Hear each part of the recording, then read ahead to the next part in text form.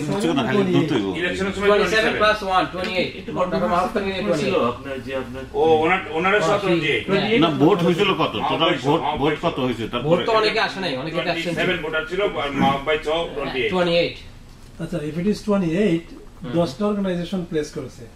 আচ্ছা নামগুলো বলেন। 18 অর্গানাইজেশন সেটাই। আচ্ছা নামগুলো একটু বলেন না প্লিজ দশটার মধ্যে কে কে আছে?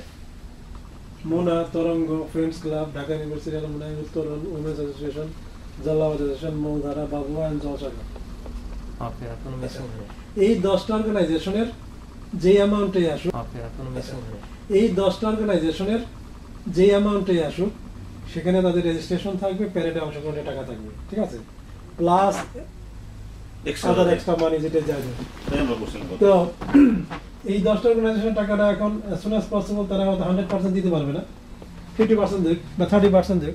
কেউ যদি পাঁচশো টাকা দিতে চায় তিনশো টাকা এখন দিক দুশো টাকা নয় পরে দিল। আচ্ছা তাহলে তাতেও ওই অর্গানাইজেশনাল ডোনেশনটা ওই রেজিস্ট্রেশন প্লাস না খালি দ্রুত হইব ইলেকশনের সময় 27 plus 1 28 একটু তারপর মাঝখানে নিয়ে ছিল 28 আপনার যে